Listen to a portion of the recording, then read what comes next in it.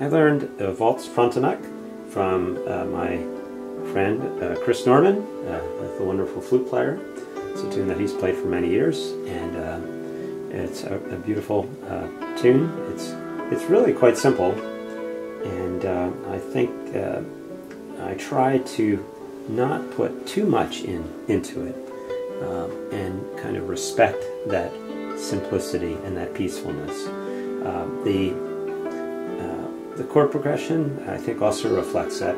There's not uh, um, a terribly uh, challenging chord progression, but it does have some, some pretty interesting uh, things that are happening in the tune. And I hope you will uh, tackle both the arrangement and the backup.